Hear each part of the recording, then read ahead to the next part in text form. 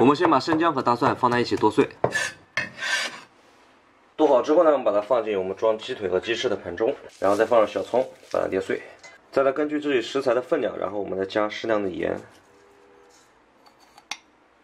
盐可以稍微多一点啊，我这个鸡翅有点多。加一丢丢白糖，然后加一点花椒粒进去，倒一点蚝油，然后加黑胡椒粉，再加点孜然粉，加一点生抽，然后再来加点料酒。然后用我们干净的手把它抓匀。如果大家想吃的快一点，可以用牙签在那个鸡腿和鸡翅上面扎小眼，这样它入味会快一点。因为我这个明天早上才吃，我腌一晚上，所以说就不需要再扎眼了。用保鲜膜给它封上，放冰箱里面冷藏，明天早上拿出来。很快到了第二天啊，我们把鸡腿拿出来。这样煎的鸡腿现在已经很入味了。我们再来调一个糊，然后用来裹在鸡腿和鸡翅上面。然后加面粉，我这个食材比较多，所以面粉用的也也要多一点。之后在面粉里面加椒盐，然后加黑胡椒粉，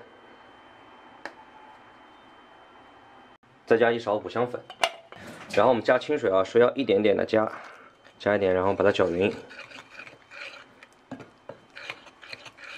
边加边和啊。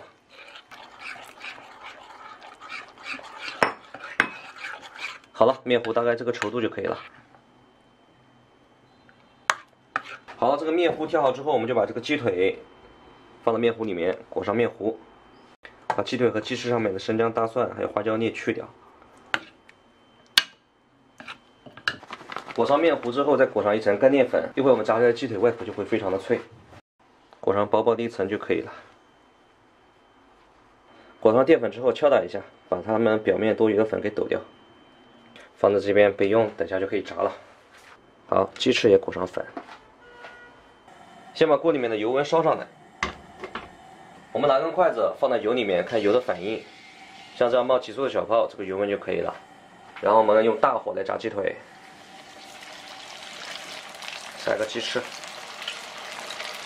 先用大火把这个鸡腿炸定型，然后开小火，然后慢慢的炸，把里面炸熟。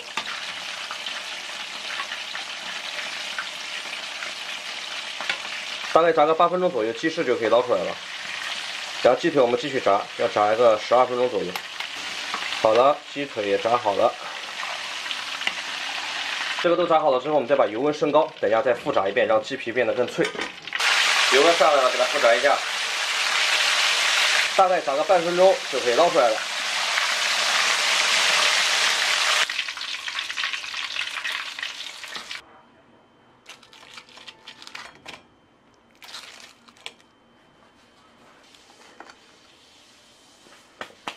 这一盘都是你的啊，加油！那我是不是可以去播那个大胃王？加油，看好你啊！